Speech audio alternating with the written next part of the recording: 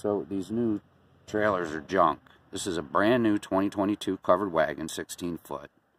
It was built in February. It's already got rust.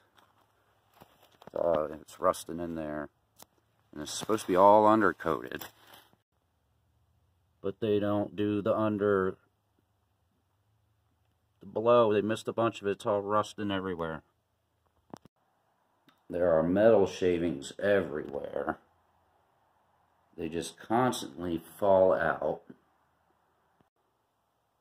Everywhere they like drilled. They come out of here. They come popping out as you drive down the road. They end up all over the floor.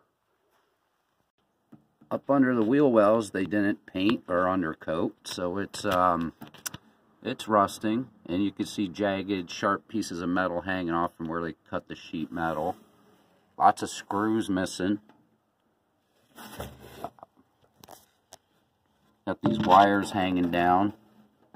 Just like they're they're gonna get broken. This rear light's already blinking off and on when you go down the road, so something's loose. I love the uh, job they did on the silicone there. That's a pretty consistent thing. They can't even get their caulking where it's supposed to go. And more screws missing on the other side.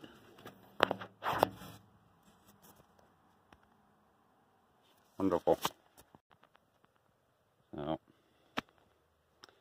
they're junk, but if you want a trailer, that's what it is. Just got to fix it all up, make it right.